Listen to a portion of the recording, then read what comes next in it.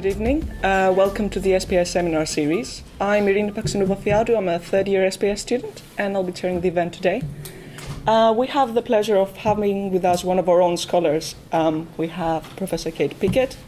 Professor Pickett is the co author of The Spirit Level and is currently teaching at the Department of Health Sciences at our university. Um, we will start by uh, having a 30 minute, 40 minute presentation by Kate, and then we will have time for questions. And without further delay, I give you Kate Pickett. Thank you. Thanks very much, Irina, and thank you for the invitation to come and talk to you, and thank you all for showing up on this very, very dark, gloomy evening. Tonight, what I want to do, or this evening, what I want to do is, is talk to you a little bit about how research on inequality has developed um, since we wrote The Spirit Level. My co author, Richard Wilkinson, is actually here today at the front. Um, he's, for once, not travelling. And so when we get to the discussion and, and question and answer time, um, I hope he'll participate. Um, but for those of you, I'm not going to assume arrogantly that you've all read our book, so I will give a, a, a little synopsis of, of what it contains. But really, I want to spend the time on, on new research and where that research is, is taking our thinking um, and how the field is developing. Um, not usually a problem with an academic audience, but a lot of people don't like statistics, and our work is empirical and you know relies on, on correlations and empirical evidence. But if you can understand this chart, you can understand what our book says. Um, in it, we look at a whole range of health and social problems, um, relate them to income inequality, and show that as societies become more unequal, their prevalence of health and social problems increases.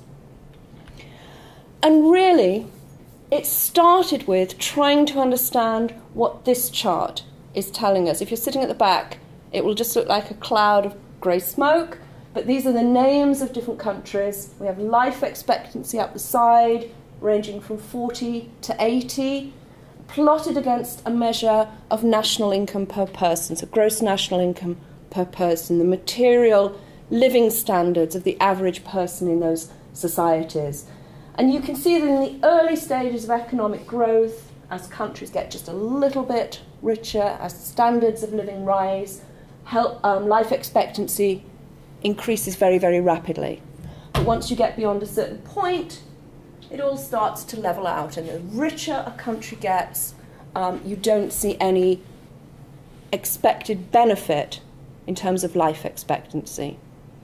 And if we look at other measures of well being or happiness, we see the same pattern rapid increases in the early stages of economic growth, and then this plateauing out, and no further increases as countries get richer and richer. So we often say that, you know, what we're really seeing is that we have come to the end of what economic growth can do for us in terms of improving population health and well being. And if we look at time series data for countries like the US and the UK, over time we can see that um, well being and happiness have not improved as economic growth has continued. So it's really trying to understand what are the drivers of health and well-being in those countries where we've lost the relationship between the improvement in material living standards and health. And so here are those countries that are on that top flat right hand part of the previous graph. These are the rich market democracies in the world. And again, we're looking at life expectancy. Here we're going from 76 to 82. Again, plotting life expectancy for men and women against national income per person, and there's no relationship whatsoever. So that we have rich countries like the Nor- Norway and the USA with very different life expectancies, and again, poorer countries with, with different experiences. There's the UK right in the middle. And yet, we all know that within every single one of those societies, there is a social gradient in health. Income does matter for health within every single one of those societies. And here are data showing that for England and Wales. These are again, life expectancies from 70 to 80 for electoral wards in England and Wales. And they're ranked by deprivation. Here are the most affluent, wealthy societies this end, and the most deprived over here. And there's a gap in life expectancy. We've got life expectancy about 71 and a half in the most deprived wards and over 79 in the most affluent. So a huge social injustice, a huge gap in life expectancy related to deprivation in England and Wales, but it's not just a difference between the poor and the rest of us. It's a finely graded relationship, a gradient where if you live in the second most wealthy or affluent neighbourhoods, your life expectancy is on average a little bit lower than if you live in the very most affluent. So that paradox that income means nothing between societies, average income means nothing, but income within societies is very important, tells us that it's something about rank, something about relative income that matters rather than absolute um, income or access to material wealth. And we had been working for a long time on um, health related issues. Both Richard and I are social epidemiologists. Um, Richard, obviously, with a long career looking at the effects of income inequality in relation to health.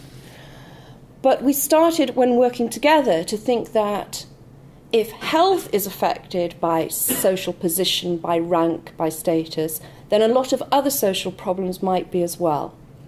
Because they also have that social gradient. You know, they're more common at the bottom of society, but they have that gradient and they're a little bit more common close to the top than they are at the very top. So things like educational attainment, um, teenage pregnancies, the level of violence in a society, how many people are in prison, social mobility, um, a whole range of issues, as well as a lot of health problems. So we created an index of health and social problems for different um, rich developed countries.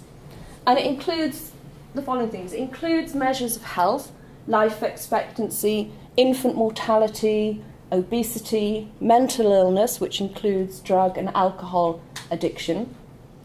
It also includes things um, that economists would call human capital, um, social mobility, how well children do in school, um, teenage births but also measures of social cohesion. So we've got trust, we've got homicides, and we've got imprisonment. And we collected data on all of those factors for each of these different countries, put it all into one index, and here we're plotting it again against average um, income per person. So if you're higher up on the chart, you're doing worse, you have more health and social problems. If you're lower down, you're doing better. And just as with life expectancy, there's no significant relationship between average incomes and this index of health and social problems. But if instead we plotted against a measure of income distribution, the gap between the rich and the poor, we get a very, very different picture. So here's that same index of um, health and social problems. So nobody's moved their vertical position but now we're plotting that index against a measure of income inequality, and it's a strong, highly significant correlation. Um, so we've got Japan, Norway, um, Finland, Netherlands, Denmark down here with a much lower level of health and social problems, and the more unequal societies, UK, Portugal, and the USA, with a much higher level. So, what's that measure of income inequality across the bottom? we use the ratio between the incomes of the top fifth of the population and the bottom fifth. Um, so it's quite, quite simple and easy to understand. And in the more equal countries, Japan, Finland, Norway, Sweden, we've got um, the top, the incomes of the top fifth of the population are three and a half to four times those of the incomes at the bottom. And at the more unequal ends, we've got Australia, UK, Portugal, US, they're seven to eight and a half times that of the bottom fifth. Now, we knew that this work is controversial, um, has huge political implications, and that some people might think that um, the differences we were seeing between different countries are cultural or are, are due to some other factor um, related to, those, to how those different countries are. So we repeated the whole analysis with the 50 states of the USA. So we created the same index of health and social problems for the 50 states. Um, here again, they're doing they're worse, um, doing worse if they're near the top, doing better if they're near the bottom, and plotted it against a measure of income inequality for the 50 states. So, in, in a sense, a different test bed for the same hypothesis. So, down here at the more equal end, we've got Utah, Wisconsin, Iowa, New Hampshire doing very well with low levels of health and social problems, Mississippi, Alabama, and Louisiana up at the top there. And we also knew that some people would think we, we chose the problems we studied, um, you know, to suit ourselves. So we did it all again with somebody else's index. This is the UNICEF Index of Child Wellbeing in Rich Countries, um, which UNICEF published in 2007. Got a lot of attention in the UK because, for once, uh, we actually did worse than the US and we came absolute bottom. Um, levels of child well-being in the UK are, are, worse than in any other rich country in this in this index um, from 2007. So again, a significant relationship between child well-being and income inequality. And this measure of child well-being contains 40 different factors. Everything from whether kids can talk to their parents, whether they eat five fruits and vegetables a day, have they been immunized, are they bullied at school, how well do they get on with their peers, a whole, a whole range of factors. So we saw this impact of income inequality across a range of health and social problems in different settings and whether we look at adults or, or whether we look at children. So that's sort of the main message of the book. But we also made the point that even for those near the top of society, even for those who are most educated, have the highest incomes, um, the, the highest social class, they have a lower risk of health and social problems living in a more equal society. Now, at the time we published the spirit level, there wasn't a huge amount of evidence in, in this area. Um, these are data from an analysis that Richard and I published in the American Journal of Public Health, where we're looking at um, death rates for working age men and women, high up here, in relation to the median household income, the average household income in different counties of the US. And we're comparing the most equal states to the most unequal states. And you can see that whether or not you live in a poor county or a rich county, you have a lower mortality risk in the more equal states, you know, right across the spectrum. And we had a few pieces of evidence similar to that. Um, here's one for um, educational attainment. This is literacy scores of 16 to 25 year olds, so how well young people are doing in literacy. And their scores are ordered in relation to their parents' education, how educated their parents are.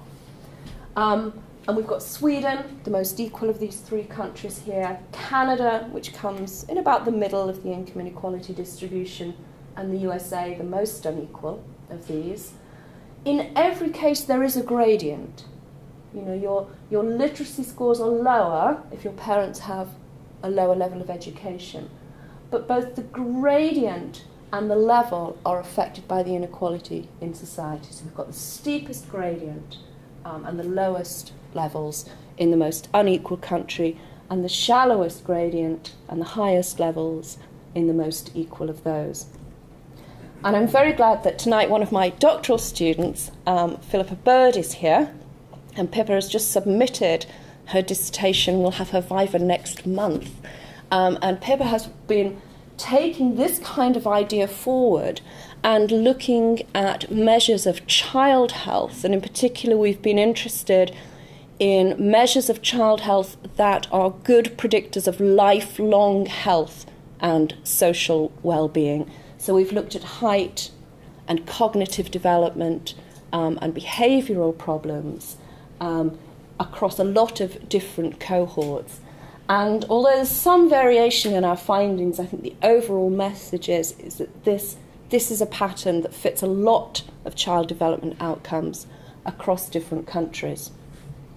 So, not only does income inequality raise the average level of problems in societies, but it is affecting the whole population. So I think when we published our book, we were um, convinced that what we were seeing was a causal relationship. But initially, of course, our book met with some strong criticism, mostly, I would say, from politically, um, ideologically driven opposition to it.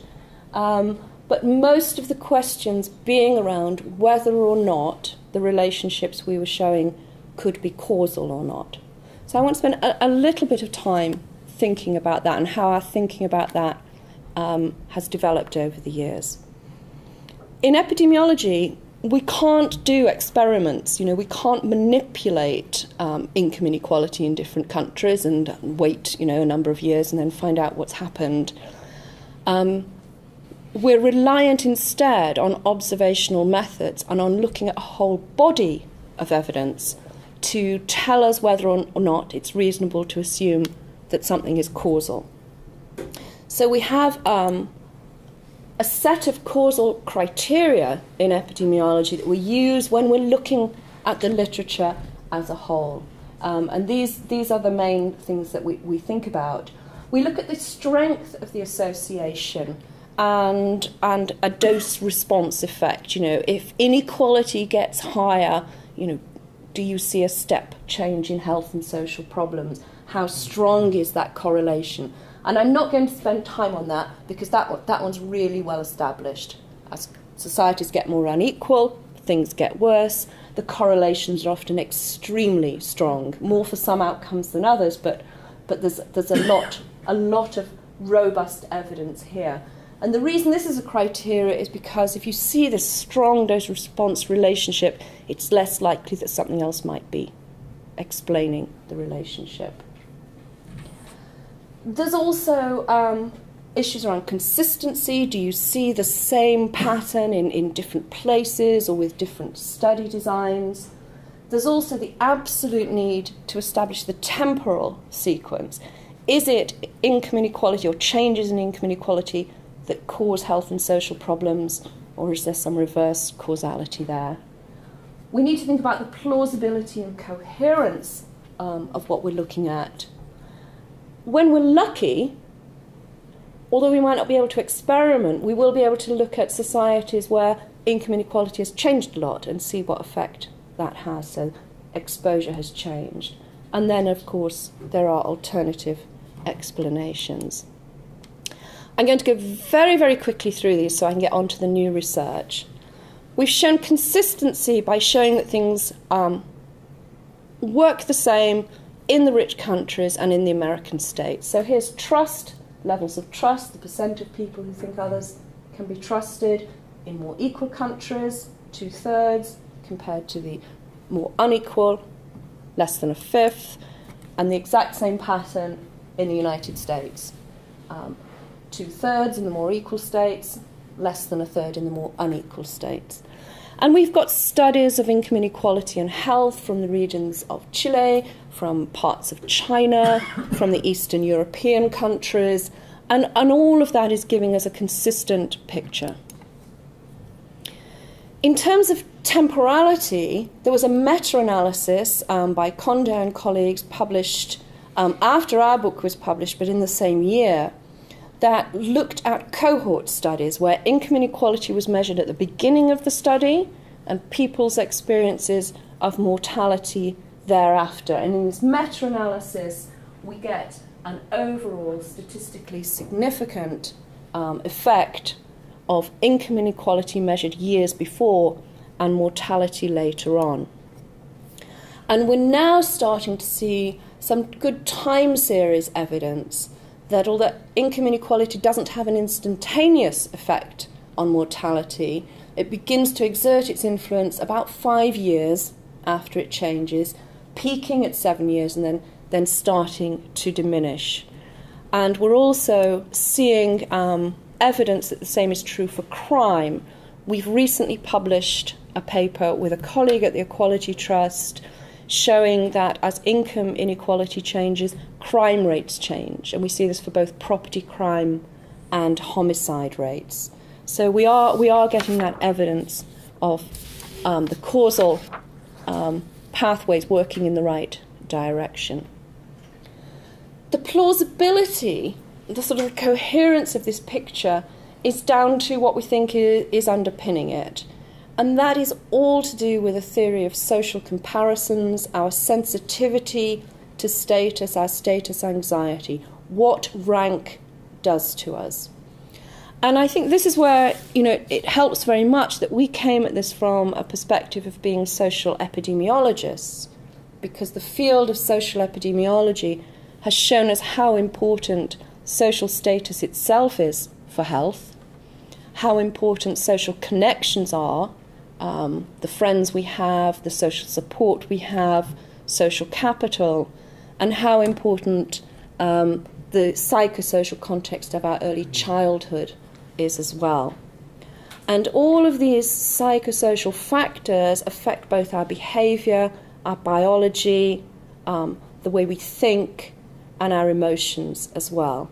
And so, where you feel you might place yourself on a ladder, if we think about the top of society to the bottom, where you feel you come here, um, has a strong impact on your health, and we're starting to understand that very well through the biology of chronic stress. Um, I'm torn between wanting to spend a bit of time on evidence of that and torn between wanting to get onto the to the new stuff. How long did you want me to talk for, Brian? Oh, you've got another 20 minutes at least? Yeah, okay. So so we'll go through it. You can just wave wave at me if you want me to stop. Um, so again, when we published our book, we were drawing on the work, particularly of psychologists, experimental work that was helping us to understand these psychosocial processes and their, their impact on our biology, on our health, on our feelings and thinking. Um, and one piece of evidence that I think was really useful is the work of Dickerson and Kemeny, who are psychologists in California and they conducted a meta analysis, an overview of studies, experiments where psychologists had brought subjects into the laboratory um, and given them stressful tasks to do, and then measured to see how their stress hormones responded. Because they were trying to understand what kinds of stressors most stress us as human beings. And what they found was that it was tasks with what they call social evaluative threat that provoke the biggest response. And what they mean by that is tasks in which other people can judge you negatively. So, if I brought you all into a lab and gave you difficult maths problems to do, you might find it a little bit stressful, but you'd find it a whole lot more stressful um, if I made you read out your results to everybody else in the room. So it's so it's where other people can judge you, and it's this sense that we judge ourselves through the eyes of others. And these are the, these are the kinds of tasks that most um, increase our stress levels. And very quickly, another example of that, really, but more about um, cognition than, than physiology. Researchers at the World Bank worked with Indian schoolboys again in sort of a lab setting, classroom setting, gave them puzzles to do, those mazes where you have to find your way from the outside into the middle. Um, and when the boys did this without knowing one another's caste, the high caste and the low caste boys did equally well. But after they had had to announce their caste to one another, the performance of the low caste boys plummeted. And psychologists call this um, stereotype threat if you feel that the group you belong to is stigmatized and stereotyped in negative ways by other people, then that suppresses your performance. And we see the same for African American versus white students in, in America, performing equally well on tests until told that it's a test of intelligence and provoking that stereotype threat in the black students. And I'm afraid, ladies, we do the same when it's tests of maths and spatial problems. We do fine unless we're told that science has shown that women do worse than men, and then our performance plummets. In fact, we're so sensitive to this that we only have to tick a box at the top of the paper to say male or female to, to provoke that particular response. Um, and here, an experiment from monkeys. I know these are monkeys but not people, but you could not do this experiment with students. We've got monkeys um, housed on their own for a while by researchers, um, and then they're scanning their brains. And this is a non technical biological talk, so we'll say they're looking for happy chemicals. Okay? And then the monkeys are moved into groups and allowed to establish a social hierarchy, and then their brains are scanned again. Now, here are the monkeys who are going to become dominant in social groups, but here they're living on their own. They've got quite a little bit of happy chemicals, a little bit more than the monkeys that are going to go on to become subordinate monkeys, um, but are now living on their own, but not much difference between the two. And then after they're socially housed and have formed their social ranks, the dominant monkeys' um, brains are very, very happy. They are really benefiting from being top monkey. It's not good to be bottom monkey. Um, but the monkeys that have become subordinate are not benefiting at all from their living in groups. Um, now, you could do that with students if you had enough halls of residence and could, could move them around enough, but you couldn't do the next bit because then the researchers allowed the monkeys to take cocaine. They had free access to cocaine, they taught them how to use it, and um, these monkeys didn't bother. Okay? They didn't need it. But these monkeys took a lot, and afterwards their brains looked like these brains. So those monkeys were medicating themselves against their, their social pain. So this was the sort of, of body of evidence that we had that fit with things we were looking at, like the relationship between income inequality and drug use, um, that helped us to sort of try and understand those, those different pathways. I'm going to skip over alternative explanations so we can come to those later. Um, oops, what did I do there? And on yeah. cessation of exposure, we do have one good example. Remember, I showed you the index of health and social problems in relation to income inequality. And Japan was the most equal country in our data set and had the lowest level of health and social problems. And the USA had the highest level of income inequality um, and the highest level of health and social problems. That's what it looks like um, now.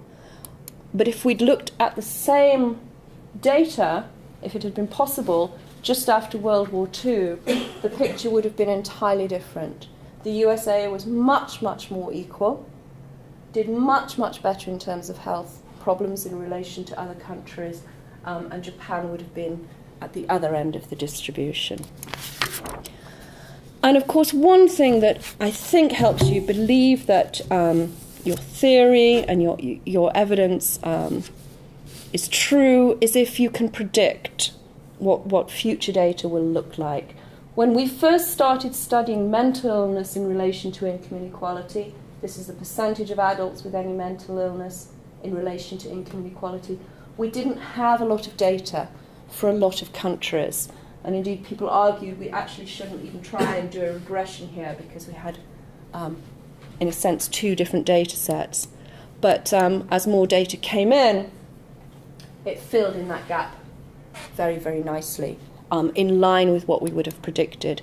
And the same was true for social mobility, where we only started out having data for eight countries, because you need long data series to be able to do this um, a big gap between some European countries um, and the UK and the USA, but as more data came out, again, more able to fill in that picture. But I want to spend the last bit of time on, on new research. um, that's helping really to fill out the picture. And we've seen this, this massive growth in research on income inequality since 2009, really in two areas. One set of studies that are looking at societal levels of inequality, just as we have in the past. So, levels of income inequality in relation to a whole range of what we might think of as the psychosocial states of being that then will lead to health and social problems. Um, also, more research on mental illness in particular, but also a surprising body of research that's really looking at civic participation and cultural partic- participation, which is showing us that people who live in more equal societies are more likely to take part in civic life and more likely um, to take part in cultural events and cultural life. It's as if in more, more equal societies there's less of an us and them about who does what and, and who attends what, what kinds of things. And then also some research that looks at individual people and looks at social class um, in relation to their social behaviour. So I'm going to show you just a few examples um, of things that, that fit here. There is a new paper coming out that shows that status anxiety, which is at the heart of what we think is, is happening when societies become more unequal, status anxiety increases in more and less equal, more unequal societies. But I can't show you a figure from that because the, the data are not yet published um, but I'll show you some other things.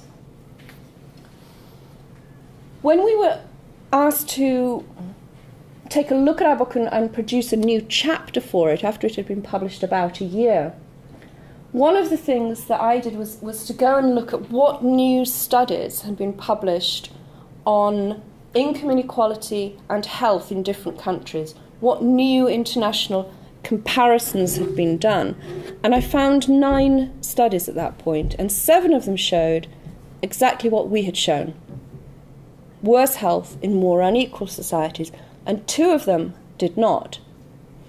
But looking more closely at those two, they looked at income inequality in relation to self rated health and not in relation to a measure like mortality or life expectancy. So, a subjective measure rather than an objective measure.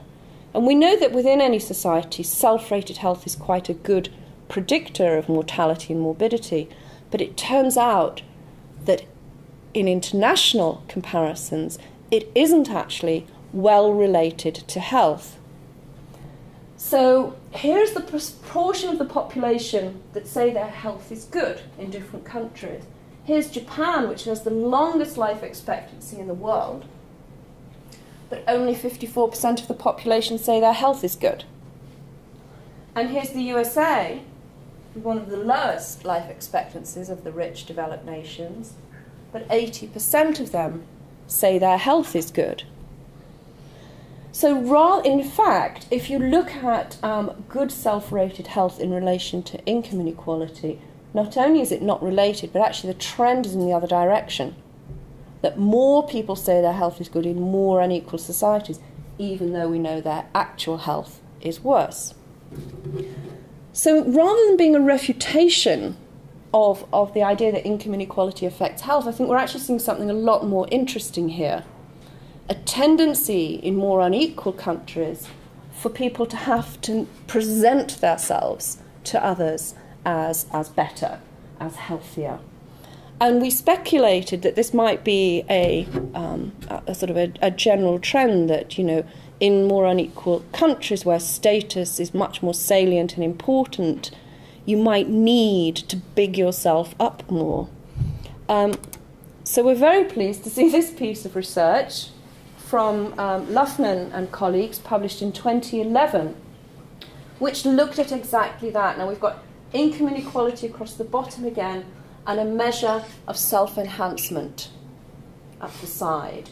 Um, and a strong, significant relationship between the two. And self enhancement is saying basically that you're better than average.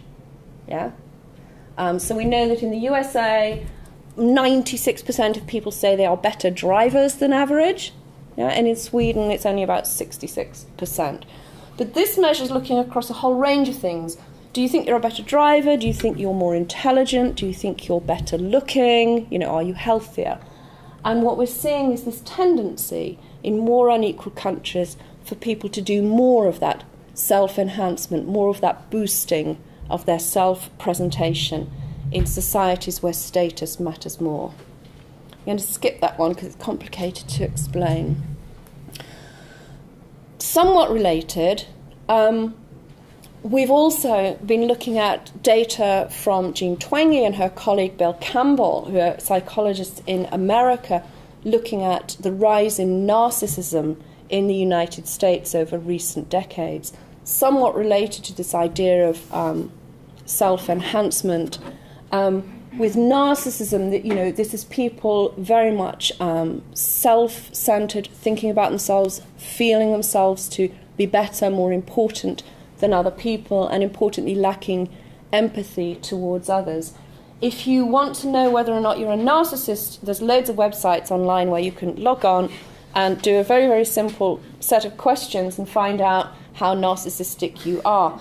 Um, it's quite a tough one, actually, because they give you paired statements and you have to say which you agree with most. And for example, there's one that says, I do not like to look in the mirror, versus I love to look in the mirror, you know, and that's a bit black and white, isn't it? Because if you're having a good hair day and you're dressed up to go out, you don't mind looking in the mirror, but other days you'd really rather not. Um, but the one, the one that really got me was the question. Um, the statement said, "Do you think the world would be a better place if you were in charge?" Yeah. and I thought, God, yes. Absolutely. There's one or two things I'd do right away that would really, really help.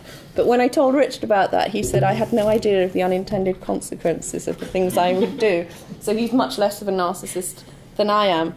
Um, but actually, the, the paired statement with that was I would be terrified to be in charge of the world, you know. So I think, I think that's, that's also true.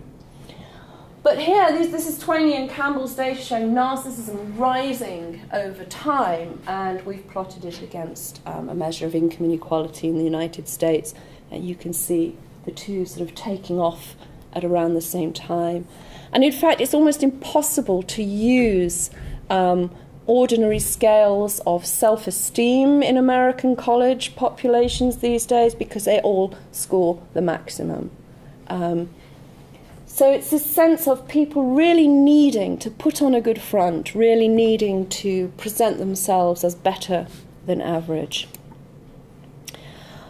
I'll move now to a couple of studies from um, a psychologist again in California called Piff, who, rather than looking at whole populations, is looking at individual people and is experimenting with them um, to find out how social class affects things like their pro social behavior, their ethical behavior, their narcissism, etc. Um, and he does really sort of two kinds of studies. One, one set are observational, um, and here he basically he and researchers stood at the intersection, um, you know, in a city and watched cars driving by, and they noted which cars cut off other cars you know, so behaved rudely at the intersection. And they noted down each vehicle's um, age and make, and they've classified vehicles as low status up to up to high status. And they did the same thing at a pedestrian crossing, noticing which cars allowed pedestrians to cross and, and, and which um, illegally ran over the pedestrian crossing. And in both cases, the higher the status of the car the worse the behaviour of the drivers. So rich people were more likely to cut other people off or, or not allow pedestrians to cross the road. But he also did a number of um, experiments um, with, with people in the laboratory. Um, no, sorry, I'll go back one first. Setting up people in an experimental situation where they thought that somebody else in the experiment was in distress to see if they helped them, um, giving them um, plausible ethical choices, and finding that high status people are more likely to behave unethically than others. They're less likely to behave kindly towards others. They're more likely to behave in narcissistic ways. I'm afraid they're even more likely to take candy from children. In one experiment, he had a jar of sweets um, and he told the participants, you know, those are really for the children in the lab next door. But if you want, if you want some, you know, go ahead and take some. And the high status people took far more candy than, than the low status people. And it all sounds a bit depressing because, you know, you start to think of, of um, rich people behaving in, in completely awful ways and how do you get around that. But I think the most interesting experiment he did was, was this one where he, he was actually measuring narcissistic tendencies, um, but he did it under two conditions. He measured the difference between low and high social class people um, and found the difference that he had been finding all along. And then he did what he, he called a priming exercise with them. He asked them to sit down and write on a piece of paper before they did the experiment um, a few sentences about how they felt about people being treated equally. So it was just a little prime to get them thinking about egalitarianism. And when they did experiments under that condition, the difference between the high social class and the low social class people was, was much reduced. And I think that's a very hopeful and optimistic measure because it suggests that if people are encouraged to think about egalitarianism, are encouraged to think about the benefits of equality, then it actually can change um, the way they behave. I think I'll stop now because I've talked for long enough. But I, I, mean, I do have, I have a lot more slides. Um, but we could talk at some point as well about the work that economists are doing, studying income inequality, a lot of which is very new since the global financial crisis and since our book was published, and also the connections that are being made um, between income inequality and the environment and how societies act um, internally and towards others with respect to the environment, because those are also important new areas of research. but perhaps we'll explore that a bit in, in discussion or questions. Thanks.